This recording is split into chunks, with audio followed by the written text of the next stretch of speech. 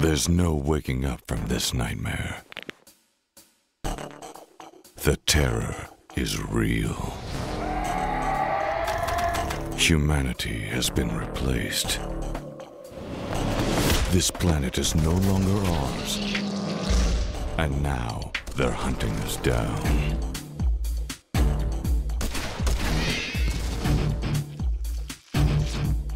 The action is more intense.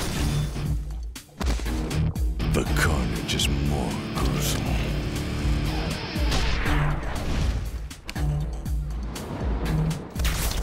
We may not survive this, but we'll die trying.